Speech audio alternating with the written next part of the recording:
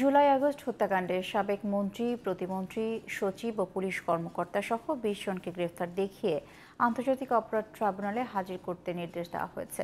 এছাড়া সাবেক DMP commissioner Habibur সহ সতেরো পুলিশ কর্মকর্তাকে গ্রেফতারে পরোয়ানা জারি করেছে ট্রাইব্যুনাল। প্রসিকিউশনের করা আলাদা তিনটি আবেদনের শুনানি করে এসব আদেশ দেন বিচারপতি গোলাম মর্তুজা মজুমদারের নেতৃত্বে আন্তর্জাতিক অপরাধ ট্রাইব্যুনাল। এদিকে গুম হওয়া ব্যক্তির পরিবারের পক্ষ থেকে আরও উনচল্লিশটি অভিযোগ দায়ের করা হয়েছে ট্রাইব্যুনালের চিফ প্রসিকিউটরের কাছে। সাইদুল ইসলামের রিপোর্ট।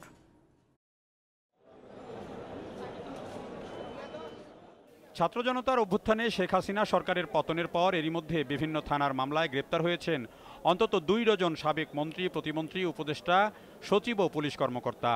গ্রেপ্তারে থাকা সাবেক আইনমন্ত্রী আনিসুল হক, বেসামরিক বিমান পরিবহন মন্ত্রী ফারুক খান কৃষিমন্ত্রী ডক্টর আব্দুর রাজ্জাক, বস্ত্রমন্ত্রী গোলাম দস্তগীর গাজী বীর প্রতীক, সাবেক পর্যটন মন্ত্রী রাশেদ খান মেনন, তথ্যমন্ত্রী হাসানুল হক ইনু, নৌমন্ত্রী শাহজাহান খান, শিক্ষামন্ত্রী দীপুমণি আইসিটি প্রতিমন্ত্রী জুনায়েদ আহমেদ পলক, শিল্পমন্ত্রী কামাল আহমেদ মজুমদার, প্রধানমন্ত্রী শেখ হাসিনার উপদেষ্টা সালমান এফ রহমান, তৌফিকি ইলাহি চৌধুরী, সাবেক সচিব জাহাঙ্গীর আলম ও অবসরপ্রাপ্ত বিচারপতি শামসুদ্দিন চৌধুরী মানিককে গ্রেপ্তার দেখানো হয় আন্তর্জাতিক অপরাধ ট্রাইব্যুনালে।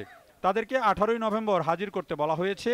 এছাড়া সাবেক আইজিপি চৌধুরী আবদুল্লাল মামুন সহ ছয় পুলিশ কর্মকর্তাকে বিশ নভেম্বর হাজির করতে হবে ট্রাইব্যুনালে।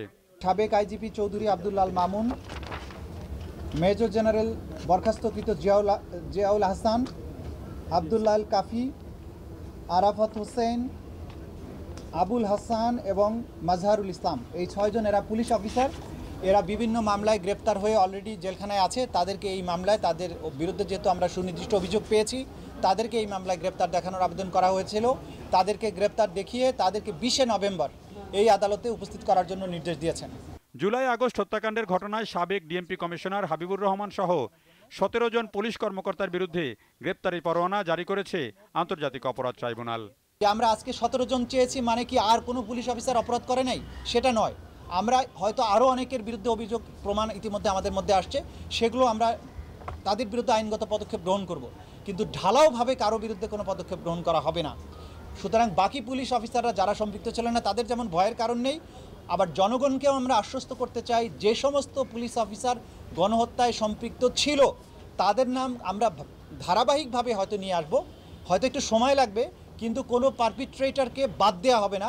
এদিকে গুম হওয়া ব্যক্তি ও পরিবারের পক্ষ থেকে আরও উনচল্লিশটি অভিযোগ দায়ের করা হয়েছে ট্রাইব্যুনালের চিফ প্রসিকিউটরের কাছে। রোববার দুপুরে ভুক্তভোগী ব্যক্তি ও পরিবারের সদস্যরা হাজির হয়ে অভিযোগগুলো দায়ের করেন। এ নিয়ে মোট পঞ্চাশটি গুমের ঘটনায় অভিযোগ জমা পড়ল আন্তর্জাতিক অপরাধ ট্রাইব্যুনালে। Saidul Islam GTV news Dhaka.